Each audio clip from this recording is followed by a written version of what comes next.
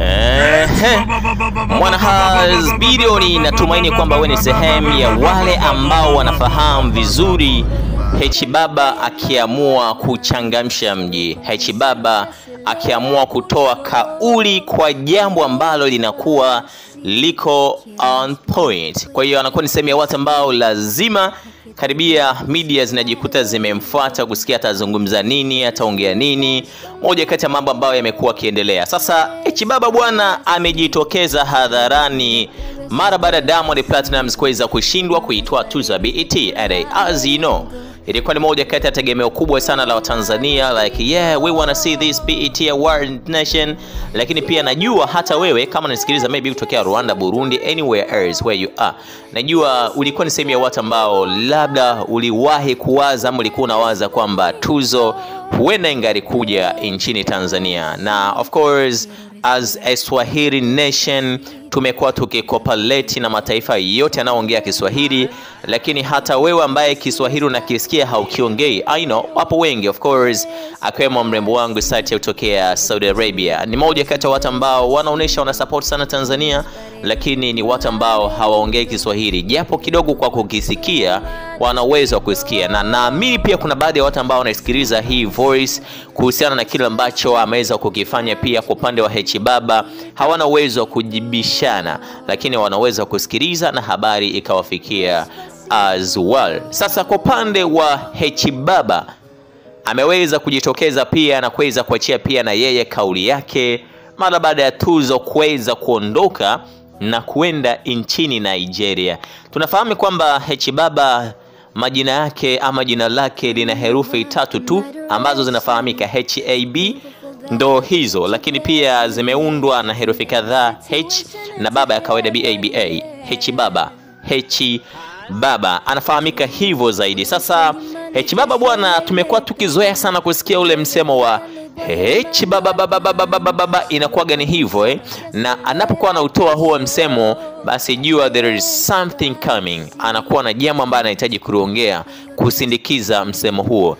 Sasa kwa upande wake bwana, tunafahamu kwamba Bana Boy jina lake linaanza na B B A bana, then inaendelea, na kwa upande wa kuandikwa kuna ambao wanaandikaga b u r bana hivyo, lakini kwenye kutamka kuna ambao wanasema buna buna boy na kuna ambao wanatamkaga bana boy ya ba badala bu. Sasa kwa upande wa H Baba leo alichokifanya of course ni kuweza kutamka jina la bana boy na then akawa amelisindikiza na kionjo hivi ambacho pia mwishoni mwa hii video nakiachia chote, so utasikiliza kila kitu ambacho kwa upande wake yeye ameweza kukifanya. Lakini pia hii ni video ambayo amerekodi akiwa kwenye gari, as you see, video ambayo inamuonesha akiwa ndani ya gari then safari zake zikiwa zinaendelea kama kawaida, na ni moja kati ya mambo ambayo najua pia hata wewe mwana Hasbiruni unaweza ukawa unayaona eh?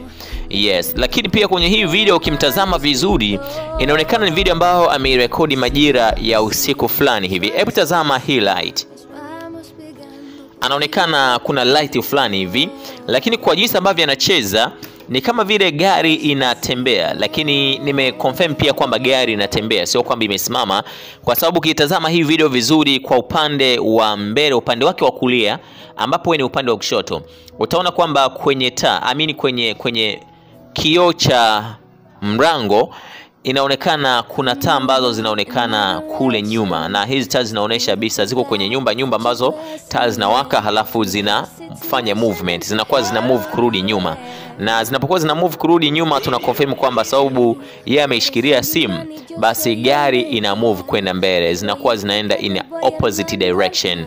Ikiwa inaenda kulia, basi zenyewe zinarudi kushoto, ikiwa inaenda mbele, zenyewe zinarudi nyuma. Kwa upande wake hapa zinaonekana kwamba zinarudi nyuma, kwa hiyo gari ina confirm ya kwamba ama hii video inadukonfirmia kwamba yeye anaendesha gari na gari iko kwenye movement kuelekea mbele. So ni moja kati ya vitu ambavyo vinaonekana, na unaweza ukaona pia namna ambavyo amevalia nguo fulani hivi ambazo mara nyingi wakati wa usiku especially kwenye mikoa ambayo inapatikana Tanzania, lakini pia hata kwa majirani nasikia ukielekea Marawi ama ukielekea Msumbiji, hata Kongo, unasikia baridi ya sasa hivi imeongezeka kwa kiasi kikubwa. Lakini kwa Tanzania nikwambie, Makete bwana, baridi imeshuka kuliko vile ambavyo unaweza ukawa unafahamu.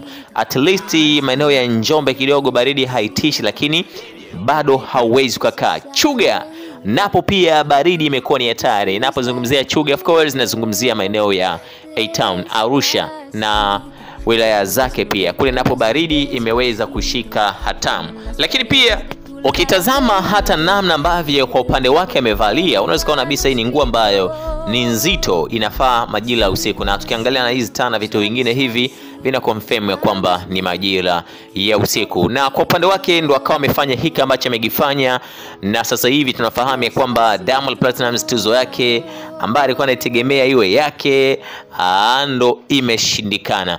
Zamani kuna tuzo ambazo zilikuwa zinatolewa na zikitolewa zinarudishwa, yani haiwi tuzo kwa ajili ya msanii, na tumekuwa tukiona pia hizi kwenye masuala ya vikombe vya timu especially timu ambazo zimekuwa zikifanya vizuri. Kama msimu huu timu hii ikibeba ngao labda fulani, unaweza ukakuta timu nyingine msimu mwingine unaokuja ikabeba ngao tena, ile ngao inatolewa kwenye timu moja inapelekwa kwenye timu nyingine. Mara nyingi tumekuwa tukishuhudia movement kama hizo za makombe kwa upande wa wasanii na especially BET. E bwana, e, hili jambo liko tofauti. Ukishinda basi unaenda nayo kwenu, unaifanyia kila ambacho unahitaji kufanya na maisha mengine pia yanakuwa yanaendelea, na ndo kitu ambacho kimekuwa pia kikifanyika. Kwa na Harris Bill ambao amekuwa ni wafuatiliaji wazuri, wala ambao wamekuwa hawapitwi na jambo. Najua hili sio jambo geni sana kwa upande wao, ni moja kati ya mambo ambayo wanayafahamu na ni moja kati ya vita ambavyo vimekuwa vikijitokeza kwa zaidi ya mara moja. So ni moja kati ya mambo ambayo tunaweza tukasema hii tuzo Diamond angeichukua ingekuwa ni ya kwake milele, yani ingekuwa ni ya kwake mpaka ije haribike. Lakini pia kama hivi ambavyo Burna Boy ameweza kuichukua tuzo ni ya kwake pia, yani mpaka iharibike.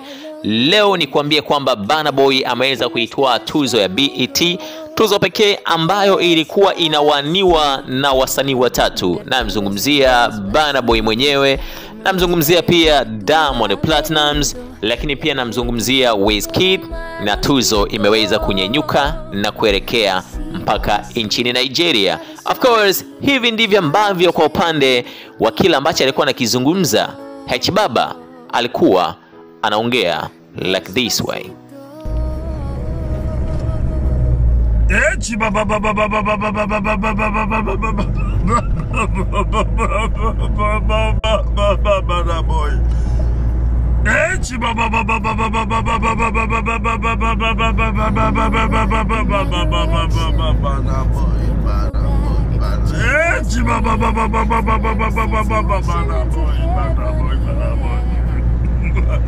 Masaye, habari vipi bwana ndugu yangu? Ulijitahidi lakini umewaibisha Masai kwa sababu Masai huwa ni watu ambao lile vazi hawajawahi kushindwa hata siku moja.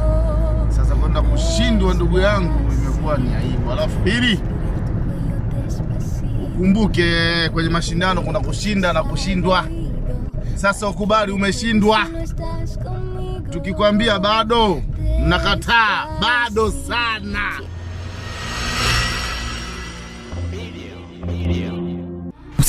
Usisahau kusubscribe, kulike na kucomment. HBTV